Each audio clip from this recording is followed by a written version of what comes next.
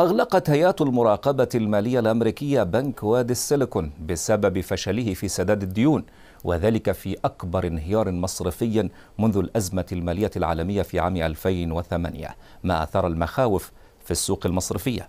وقالت وزيرة الخزانة الأمريكية جانيت يلين في مقابلة مع وسائل الإعلام أنها تستبعد إمكانية إنقاذ الحكومة الأمريكية لبنك وادي السيليكون.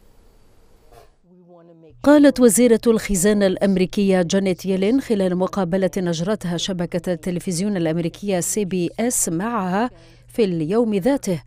إن الحكومة ترغب في تجنب تأثير مشكلة أي بنك على البنوك الأخرى وقد استبعدت إمكانية إنقاذ الحكومة لبنك وادي السيليكون. هذا وأصدر البيت الأبيض الأمريكي بيانا يوم السبت الماضي أعلن فيه أن الرئيس الأمريكي جو بايدن التقى بحاكم ولاية كاليفورنيا جافين نيوسوم وذلك لمناقشة تدابير التعامل مع إغلاق بنك وادي السيليكون دون أن يكشف عن مزيد من التفاصيل.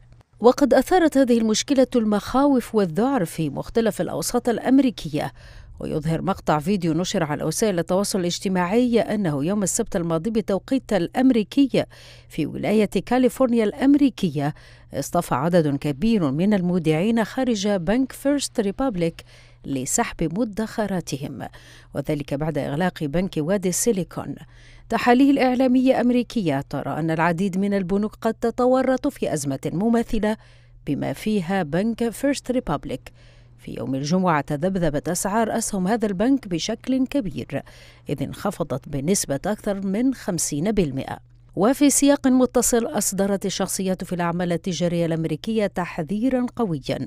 فقال ديفيد تافلر الخبير المصرفي الأمريكي إن بنك وادي السيليكون يعد بمثابة ضحية لرفع بنك الاحتياطي الفيدرالي لسعر الفائدة بشكل مفاجئ وسريع جدا. لذلك من الممكن التنبؤ بكوارث مماثلة وسلسلة ردود الأفعال الناجمة عن رفع سعر الفائدة من قبل بنك الاحتياطي الفيدرالي الأمريكي لن تنتهي. وهذا لا يؤدي إلى تباطؤ اقتصاد وادي السيليكون فحسب بل سيعاني اقتصاد مختلف الأماكن في الولايات المتحدة الأمريكية. وردا على استجابة الحكومة لهذه الأزمة أشار تافلر إلى خلل وظائف البيت الأبيض والكونغرس مضيفا أنه لا يتطلع إلى اتخاذ الوطن لأي إجراء عملي. كما حذر رجل الأعمال الأمريكي بيرني ماركوس المستهلكين من أن الركود ربما يكون قد بدأ بالفعل.